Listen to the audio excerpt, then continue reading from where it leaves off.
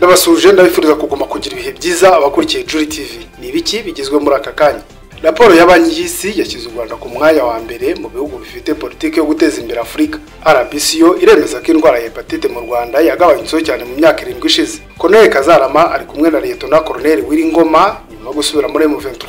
Muri repubulika ya demokarasi ya kongo abashoferi batagitse bahagaritse akazi barigaragambya batizwa umurindi n'abaturage. Muri kenya abanyamakuru bavuye bajya gusenga basize abandi mu birori Donald Trump yavuze ko Kamala Harris afite ubwenge buke. Uburusiya bwo bwahanuye drone ebyiri za Ukraine yakoresheje twika ibigega bya peteroli. Umuhanuzi wahanuye urupfu rwa Elizabeth wa kabiri yahanuye n'igihe umwami Charles wa gatatu azapfira. Izi nyingo nkuru zigize aya makuru mwategure kandi mugiye kugezwaho nanjye Alexis nawe ugenera amakuru arambuye ni mu kanya. ese waba urwaje cyangwa urwaye zimwe mu ndwara ngiye kukubwira igifu diyabete umuvuduko w'amaraso ujya urwara amara cyangwa se constipation cyangwa hemoroyide ese uri umudamu ukajya ubura amavangingo mu gihe cyawe cyo gutera akabariro. Ese uri umukobwa? Ukaba uribwa? Mu nda cyane mu gihe cyawe cy'imihango ese waba ujya ubura ubushake cyangwa se ukarangiza vuba mu gihe cyo gutera akabariro? Ese waba urwara umutwe ukomeye cyangwa se umutwe w'uruhande rumwe? Ese waba urwaye indwara zo mu zabukuru nka rubagimpande cyangwa se imitsi? Ufitiye amakuru meza ko uyu munsi ushobora gukira burundu. Niba ushaka ko ngufasha wampamagara kuri zeru karindwi gatatu igihumbi magana atatu mirongo itandatu n'umunani. Zeru karindwi gatatu igihumbi magana atatu mirongo itandatu n'umunani. Urakoze cyane. Ikaze kuri aya makuru arambuye duhere kuri ivuga ko u Rwanda rukomeje kwesimirwa muri gahunda y'ubudasa rishingiye ku iterambere no mu zindi nzego. Ibi bigaragazwa na raporo y'isi yiswe CPA ya banki y'isi yongeye gushyira u Rwanda ku mwanya wa mbere mu bihugu bifite ingamba na politiki byiza bigamije guteza imbere ubukungu bwa Afurika. Raporo nshya yiswe CPIA Africa yongeye gushyira u Rwanda ku mwanya wa mbere n'amanota ane n'igice kimwe kuri atandatu. Abakorera iyi raporo bashingira ku bipimo bine by'ingenzi birimo imicungire y'ubukungu, ishyirwaho rya politiki zorohereza ubucuruzi n'ishoramari politiki yo guteza imbere uburinganire kuri bose ndetse n'imicungire y'inzego z'abikorera n'iz'ibigo byigenga. Aho hose u rwanda rwagize amanota ari hejuru y'ane. Ariko aho rwagize menshi ni mu rwego rwo guteza imbere uburinganire kuri bose rwagize amanota ane n'ibice bine ndetse no gushyiraho politiki nziza ku bucuruzi n'ishoramari rihabwa amanota ane n'ibice bibiri kuri atandatu. Ni amanota meza ukurikije n'ibindi bihugu byo muri afurika. Kuko nta kindi gihugu gifite amanota arenze atatu n'ibice icyenda ariko ntabwo bihagije kuko hari byinshi bikenewe kongera gushyirwamo imbaraga kugira ngo amanota akomeze kuzamuka kurushaho. Nk'uko bisobanurwa na sitarato Habyarimana impuguke akaba n'umusesenguzi mu by'ubukungu. Umugabane wa afurika uratanga icyizere mu bihe biri imbere kuzakomeza uzakomeza gutera imbere mu bukungu. Mu gihe leta z'ibihugu zikomeje gushyira ingamba na politiki zo guteza imbere abikorera nk'uko byemezwa na banki y'isi. Perezida w'itsinda rya banki y'isi ajay banga yemeza ko ubukungu bwa afurika butanga icyizere cy'ejo hazaza kubera umubare munini w'abakiri bato. Aha yari mu nama iheruka kubera i washington dc muri leta zunze ubumwe za amerika mu kwezi kwa kane muri uyu mwaka. Raporo ya cpia ariyo country policy and institutional assessment mu magambo arambuye isesengura politiki zitandukanye zigamije iterambere n'uruhare rw'ibigo by'abikorera mu bukungu bwa buri gihugu mu bihugu byo muri afurika mu myaka icumi ishize u rwanda rwakunze kuza ku myanya ya mbere n'amanota ari hejuru y'ane kuri atandatu. Raporo y'uyu mwaka ibihugu byinshi byo munsi y'ubutayu bwa sahara bifite amanota atatu n'igice kimwe nk'impuzandengo rusange. Ibindi bihugu bikurikira u rwanda kuri iyi raporo ni beni cape verde bifite amanota atatu n'ibice icyenda mu gihe togo na cote d'ivoire bifite amanota atatu n'ibice umunani. Ibihugu biza ku myanya ya nyuma ni sudani y'epfo na eritrea bifite inota rimwe n'ibice birindwi kuri atandatu. Tukiri mu makuru arebana n'u rwanda kandi ikigo cy'igihugu gishinzwe ubuzima kiremeza ko indwara ya hepatite mu rwanda yagabanyutseho cyane mu myaka irindwi ishize. Ku munsi mpuzamahanga wahariwe kurwanya hepatite wizihizwa tariki ya makumyabiri n'umunani nyakanga ikigo cy'igihugu gishinzwe ubuzima rbc cyagaragaje ko abasaga miliyoni eshanu basuzumwe virusi ya hepatite b mu myaka icumi ishize. Mu gihe abasaga ibihumbi umunani bashyizwe ku buvuzi buhoraho nyuma yo kuyisanganwa.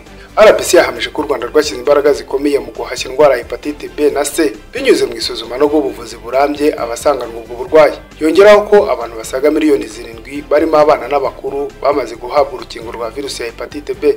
Mu mwaka w'ibihumbi na makumyabiri na kabiri ibihumbi na makumyabiri na gatatu abantu ibihumbi magana atanu basuzumwe mu hepatite c. Habonekamo abasaga ibihumbi bibiri banduye maze bahita bashyirwa ku miti aho benshi bakize nk'uko rbc ikomeza ibivuga. Umuyobozi w'ishami rya rbc rishinzwe kurwanya indwara zandurira mu mibonano mpuzabitsina no mu maraso dr. Serumondo janvier yavuze ko hamaze guterwa intambwe ifatika mu guhashya hepatite c. Imibare igaragaza ko ikigereranyo cy'abarwayi ba hepatite c cyavuye kuri kane ku ijana kigera kuri zeru n'ibice mirongo ine n'umunani guhera mu bihumbi bibiri na cumi na karindwi kugeza mu bihumbi bibiri na makumyabiri na gatatu. Bikaba bigaragaza icyizere ndakuka ko u rwanda ruzagera ku ntego yo kurandura indwara itarenze mu mwaka w'ibihumbi bibiri na mirongo itatu. Dr. Sirumondo yasabye abanyarwanda kugira ubushake bwo kwisuzumisha ku bigo nderabuzima bibegereye kugira ngo bamenye uko bahagaze. Yavuze kandi ko gusuzuma n'ubuvuzi byegerejwe abaturage ku bigo nderabuzima byose mu rwanda aho abanyarwanda banduye izo ndwara bavundirwa ku gihe kandi hafi yabo. Ashimangira kandi ko abaganga banyuranye mu nzego zose bahuguriwe uburyo bwo gusuzuma no kuvura hepatite b na c kandi n'ubukangurambaga bwarongerewe. Virusi ya hepatite yandura ahanini mu guhuza amaraso kw'abantu babiri. Abahanga mu by'ubuvuzi bavuga ko kwisuzumisha no kwivuza hakiri kare ari ingenzi cyane mu kubungabunga amagara y'uwayanduye ubuyobozi bw'ishami ry'umuryango w'abibumbye ryita ku buzima w'ms ryatangaje ko mu bantu batandatu haba harimo umwe gusa uzi uko ahagaze mu birebana na hepatite. Ni mu gihe buri mwaka abantu miliyoni imwe n'ibihumbi magana atatu bicwa na virusi zitandukanye za hepatite ku isi. Ndetse buri mwaka haboneka abarwayi bashya basaga miliyoni ebyiri n'ibihumbi magana abiri. Naho mu makuru ari kuvugwa hanze y'u rwanda reka duhahere kuri iyi ivuga ko koroneli kazarama ari kumwe na leta na koroneli w'iringoma nyuma yo gusubira muri m23 koroneli vianney kanyamuhanda kazarama wahoze ari umuvugizi w'umutwe wa m23 bwa mbere yagaragaye mu ruhame nyuma yo gusubira muri uyu mutwe. Amafoto yagiye hanze yerekana uyu musirikare ari kumwe n'abari muri leta na koroneli w'iringoma usanzwe ari umuvugizi wa gisirikare cya m23 ndetse n'umunyamakuru makuru wa paruku uheruka kwihuza n'uyu mutwe. Ni amafoto yafatiwe muri rucuro mu ntara kivu y'amajyaruguru mu mpera z'icyumweru gishize ahaberaga mu mukino w'irushanwa ry'umupira w'amaguru ryiswe amani kwetu muri uku kwezi kwa nyakanga nibwo kazarama wari wamaze igihe aba mu rwanda yemerewe byiza ko yamaze gusanga bagenzi be ku rugamba. Ni kazarama wari umaze igihe atangaza ko yiteguye gusubira ku rugamba mu rwego rwo guha bagenzi be ati twebwe nk'abasirikare ntabwo twabwirizwa kugenda. Ngenda umusirikare simbwirizwa kugenda yewe munsi no kuba ntaragiye nuko narashwe kubera ko ndi kajoriti narashwe njya kwa muganga. Ariko ndi tayari kugenda. Kazarama mu kindi kiganiro aheruka guha bwiza yari yavuze ko we na bagenzi be bategereje ko general sultan makenga uyobora m23 abahamagara mbere yo gusubira ku rugamba. Ati makenga yampamagara atampamagara niteguye kugenda ariko ampamagaye byaba byiza kurushaho kugira ngo amenye ngo umusirikare wanjye ameze ate kuko ndi umusirikare we.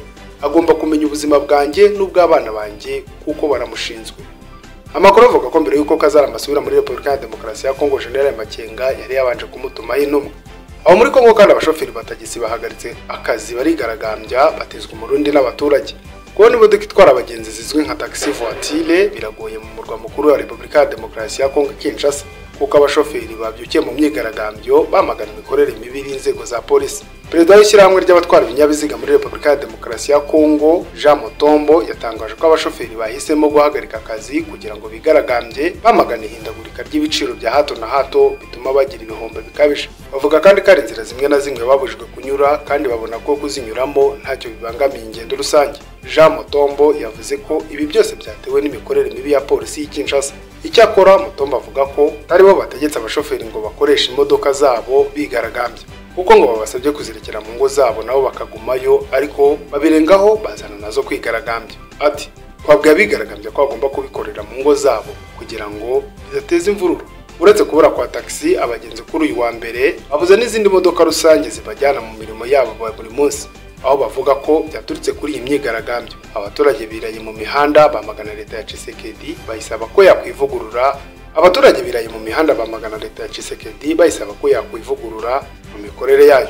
Tuvuye muri repubulika ya demokarasi ya kongo tukajya na nairobi muri kenya abanyamakuru bapfuye bajya gusenga nyuma yo gusiga abandi mu birori. Mu mpera z'icyumweru kwa gatandatu tariki ya makumyabiri na karindwi nyakanga ibihumbi bibiri na makumyabiri na kane hasakaye inkuru ibabaje y'abanyamakuru babiri bakoreraga radiyo tom fm bapfuye bazize impanuka ubwo bajyaga gusenga. Ni nyuma y'uko bari basize bagenzi babo mu birori bya radiyo bakoreragamo amakuru dukesha ibitangazamakuru byo muri kenya avuga ko urupfu rw'abo banyamakuru babiri rwaturutse ku modoka bagonganye ubwo bari batwaye moto berekeza mu gace gaherereyemo urusengero basengeramo rw'abadivantisite b'umunsi wa karindwi. Byari mu muhanda muremure wa sagana makutano. Mbere y'uko bakora impanuka babanje kwitabira ibirori byo kwizihiza isabukuru y'imyaka ine radiyo yabo imaze ikora. Bitewe n'uko basenga ku wa gatandatu byabasabye ko basiga ibirori bitarangiye bakajya gusenga nk'uko byemejwe na radiyo bakoreraga.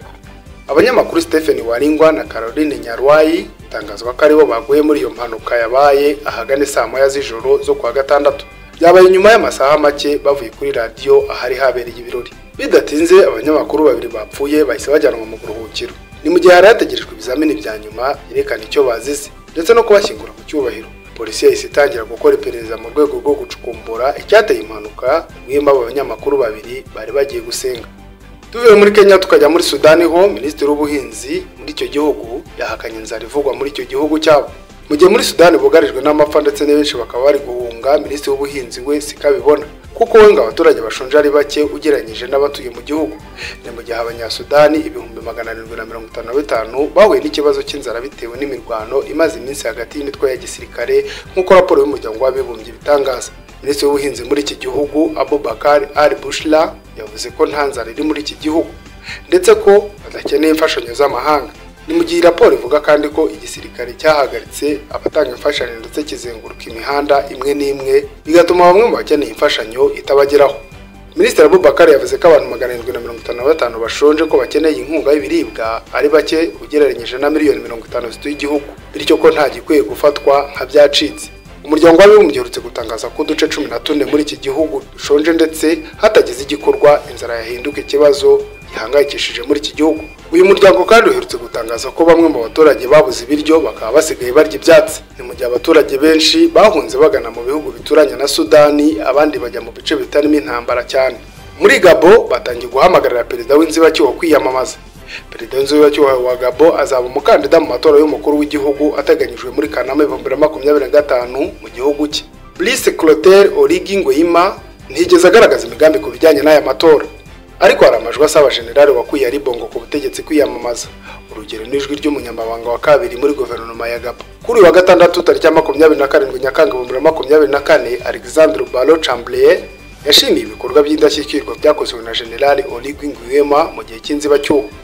Kandi yiyemeza ko ishyaka rye rassemblement pour la parti et la modernité rizashyigikira kandidatire y'umukuru w'igihugu wa gabo uriho igihe cyose byaba ari ngombwa. Itegeko ngenga ry'inzibacyuho ryemerera Brice Origi Nguema kwiyamamaza. Uyu mugabo amaze iminsi atembera mu bice bitandukanye by'igihugu bigaragarira bamwe nko gutegura ikibuga cyo kwiyamamaza. Naho Donald Trump yavuze ko Kamala Harris afite ubwenge buke. Donald Trump wahoze uyobora leta zunze ubumwe za Amerika akaba akataje ibikorwa byo kwiyamamaza ashaka manda ya kabiri yavuze ko Kamala Harris bashobora guhatanira uyu mwanya ari umuntu ufite ubwenge buke cyane. Ibi yabigarutseho ubwo yari yitabiriye inama ivuga ku iterambere rya Bitcoin yabereye i Tennessee. Uyu mugabo yavuze ko ari ikoranabuhanga ridasanzwe. Ashimangira ko ari igitangaza gikomoka ku bufatanye bwa muntu. Yashimangira ko abitabiriye iki gikorwa ari abantu b'abahanga cyane. Ati iki cyumba kiratangaje. Abantu bari muri iki cyumba bafite ubuhanga. Nubwo atamuvuze mu izina Trump yagize ati hanganye n'umuntu ufite ubwenge buke mu matora y'umukuru w'igihugu cya Amerika. Byitezwe ko Kamala Harris azahagararira ishyaka ry'abademokarate mu matora ya perezida ateganyijwe mu Gushyingo nyuma y'uko abonye abamushyigikira kenshi mu ishyaka biganjemo n'abasanzwe bafite izina rikomeye muri politiki ya Amerika. Byitezwe ko azemezwa mu nama rusange y'iri shyaka iteganyijwe muri Kanama uyu mwaka. Uburusiya bwo bwahanuye drone ebyiri za Ukraine yakoresheje itwika ibigega bya peteroli inkuru yasakaye kuri iki cyumweru mu by'intambara inkuru yasakaye kuri icyo cyumweru mu by'intambara iravuga ko Ukraine yarashe ibigega byinshi bya peteroli by'Uburusiya ikoresheje indege zitagira abapilote. Ni mu gihe Uburusiya nabwo bwavuze ko bwahanuye ebyiri muri zo. Izi ndege za Ukraine zarashe ibigega bya peteroli mu karere ka Kursk mu Burusiya kuko byemejwe n'umutegetsi wo mu Burusiya kuri icyo cyumweru. Ni nyuma y'uko kuri murandasi hasohotse amashusho yerekana ibirimi by'umuriro bizamuka mu kirere mu masaha yo mu gitondo. Guverineri w'intara wa Kursk Alexis Smirnov yanditse ku rubuga rwa Telegram ko ibigega bitatu bya lisansi byafashwe n'inkongi y'umuriro iturutse ku gisasu cyarashwe n'indege zo mu bwoko bwa drone. Yavuze ko inzego zitandukanye zagerageje kuzimya ibigega bibiri ariko ikindi kirakongoka. Smirnov yavuze ko abantu mirongo inani na babiri n'ibikoresho mirongo itatu na bibiri bizimya umuriro byari byifashishijwe kuzimya iyi nkongi. Minisitiri w'ingabo mu burusiya yavuze ko yashoboye guhanura ibyo muri izo ndege zo mu bwoko bwa drone zari zagabye igitero mu karere ka Kursk gahana imbibi na Ukraine. Ukraine ifata ibikorwa remezo bya peteroli n'intego yemewe kugabwaho ibitero mu rwego rwa gisirikare bityo ikaba yaratangiye kugaba ibitero nk'ibi ku burusiya mu ntangiriro z'uyu mwaka ikoresheje indege zitagira abapilote zo mu bwoko bwa drone zikarasa kure ku ntego ziri imbere mu burusiya. Ikinyamakuru Ukrainska Pravda cyandikirwa muri Ukraine ejo cyatangaje ko Ukraine idasiba kugaba ibitero ku nganda ziyungurura peteroli n'ibigo bya gisirikare mu burusiya. Cyavuze ko imwe mu ndege zayo zo mu bwoko bwa drone iheruka kurasa ikigo kiyungurura peteroli mu karere ka Ryazan mu burusiya. Putin aherutse gutangaza ko atazigera ahwema kwivuna Ukraine mu gihe yaba ikomeje guhabwa ubufasha na Amerika. Vladimir Putin kandi araburira ko intambara nshya y'ubutita ishobora kubuka. Perezida w'Uburusiya Vladimir Putin yafashe ijambo mu muhango wo kwerekana ingabo zo mu mazi wabaye ku cyumweru i St Petersburg ku umunsi ngarukamwaka wahariwe ingabo zo mu mazi y'uburusiya ashimira abasirikare bo mu mazi baturutse mu bushinwa algeria na india kuba bitabiriye uwo muhango. Cyane cyane yashimangiye ko uburusiya bugamije gukomeza guteza imbere ingabo zabwo mu mazi. Ndishimye cyane kwakira mu muhango mukuru wo kwerekana ingabo zo mu mazi abasirikare bo ku bwato bwa Algeria ubuhinde n'ubushinwa ndetse n'intumwa ziturutse mu bihugu by'amahanga byinshi byifatanyije natwe kwizihiza uyu munsi. Nk'uko byatangajwe na perezida w'uburusiya Vladimir Putin aganira ku mishinga ya Amerika yo gushyiraho misile zifite ubushobozi bwo kugera kure mu gihugu cy'Ubudage perezida w'uburusiya yayigereranyije n'igihe cy'intambara y'ubutita maze atangaza ko uburusiya buzafata ingamba zisa. Yagize ati niba leta zunze ubumwe za amerika zishyira mu bikorwa iyi mishinga tuzafata ko tutagira kubahiriza amasezerano no kudashyira intwaro zifite ubushobozi bwo kugera kure no mu ntera ngufi harimo no kugera ku bushobozi bw'ingabo zacu zo ku nkombe z'amazi. Uyu munsi iterambere ry'izi ntwaro rigeze ku rwego rwa nyuma.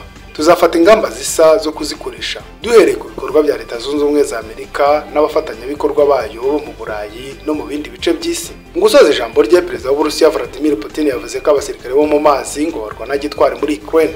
Naho wakeneri yemeye ko abarwanyi bayo baherutse kwicirwa muri mari ikigo cy'abacanshuro b'abarusiya wakeneri kuri uyu wa mbere cyemeje ko bamwe mu barwanyi bacyo biciwe hamwe n'abasirikare bo mu ngabo zo muri mari ubwo barwanaga n'inyeshyamba zo muri icyo gihugu zitwa abatuwarege uyu mutwe w'inyeshyamba z'abaturage permanent strategic framework for peace security and development. Mu itangazo washyize ahagaragara kuwa gatandatu tariki ya makumyabiri na karindwi nyakanga ibihumbi bibiri na makumyabiri na kane wavuze ko ingabo zawo zishe ingabo za mari zishyigikiwe n'abacanshuro b'abawakineri abarokotse zirabafata.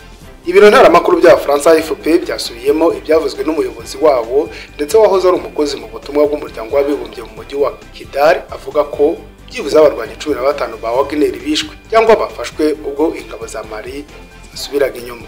Kuri uwa mbere tariki ya makumyabiri n'icyenda nyakanga ibihumbi bibiri na makumyabiri na kane wagineri yasohoye itangazo ridasanzwe risobanura imirwano ikaze yabahuje n'ishyamba ivuga ko yatangiye tariki ya makumyabiri na kabiri nyakanga kugeza ku ya makumyabiri na karindwi nyakanga. Ikavamo insinzi zitandukanye zakurikiwe no gutsindwa. Muri iryo tangazo iki kigo cyagize giti bongera ibitero rusange bakoresheje intwaro zikomeye. Indege zitagira abapilote na shahid mobile. Bongeyeho ko ubutumwa bwa radiyo bwa nyuma bwakiriwe bwavuye mu itsinda ryigize uruhare mu mirwano bwaje ku wa gatandatu ku bwa wageneri ubwo butumwa bwanditse ngo twese uko turi batatu dusigaye dukomeje kurwana. Ikigo cy'abacancuro ntikigeze kivuga umubare w'abarwanyi bacyo baba barishwe. Umuyobozi w'amakuru wa baza telegram bivuga ko ufitanye isano n'inzego z'umutekano z'uburusiya mbere wavuze ko byibuze abarwanyi makumyabiri ba wageneri baguye muri iyo mirwano. Igisirikare cya maricyo cyavuze ko abasirikare bacyo babiri bishwe n'abandi icumi barakomereka. Amakuru yacu reka tuyasoreze kuri ivuga ko umuhanuzi wahanuye urupfu rwa elizabeth wa kabiri yahanuye n'igihe umwami sharire wa gatatu azapfira. Mbere y'igihe gito umwamikazi w'ubwongereza elizabeth wa kabiri ngo atange hari warahanuye abinyujije ku rubuga rwa x avuga itariki azatangiraho kandi ko yabitangaje uwabihanuye yitwa logan smith muri izo nyandiko yari yarashyize hanze zirimo ubuhanuzi bwo gutanga k'umwami elizabeth wa kabiri zerekana ko azatanga tariki ya munani z'ukwa cyenda ibihumbi na makumyabiri na kabiri agasimburwa na shariri ibi ntibyatinze kuko byahise byuzura biba bibaye impamo. Yongeye gusura ubundi butumwa nanone muri iyi nyandiko aho yakoresheje kandi urubuga rwa x atangaza ko umwami shariri wa gatatu azatanga tariki ya makumyabiri n'umunani z'ukwa gatatu ibihumbi na makumyabiri na gatandatu. Ubutumwa buri kuvugisha benshi ku mbuga nkoranyambaga. Nk'uko bigaragara Logan Simof amaze kubona ubutumwa yatanze ko bukomeje gukwirakwizwa henshi ari nako bamwe bamutuka yafashe konti ye arayihisha ndetse X irayisiba. Kuri izo mbuga nkoranyambaga byavuze ko leta y'ubwongereza yaba igiye guhigisha uwo mugabo ruhindu uhanura iby'urupfu rw'umwami w'iki gihugu. Undi nawe w'umuhanuzi yahise atangaza ko yizera ko sharire wa gatatu azategeka iki gihugu igihe kigufi. Yagize ati nanjye nizera ko umwami sheri wa gatatu azategeka iki gihugu igihe kigufi. Ni imyaka iri hagati y'itanu ndetse n'icumi. Ibi bivuzwe mu gihe umwami sheri wa gatatu w'imyaka mirongo irindwi n'itatu y'amavuko arwaye kanseri itaratangajwe ubwoko bwayo. Uyu mwami yimitswe nyuma y'iminsi mike mama we atanze mu bihumbi na makumyabiri na kabiri wari umaze imyaka mirongo irindwi ategetse igihugu cy'ubwongereza inshuti bakunzi ba juri tv ni naho dusoreje amakuru twari twabateguriye muri aka kanya tubashimira ko mwarimu yakurikiye tubararikira gukomeza gukurikira ibiganiro biri kuri uru rubuga mugire amahoro.